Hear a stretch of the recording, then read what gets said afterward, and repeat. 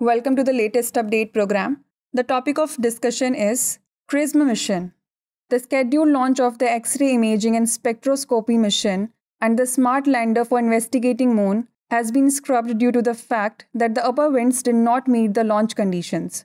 The X-ray imaging and spectroscopy mission was formerly known as XARM. It is a JAXA and NASA collaborative mission with ESA participation. The objective of the mission is to investigate celestial X-ray objects in the universe with high throughput imaging and high resolution spectroscopy.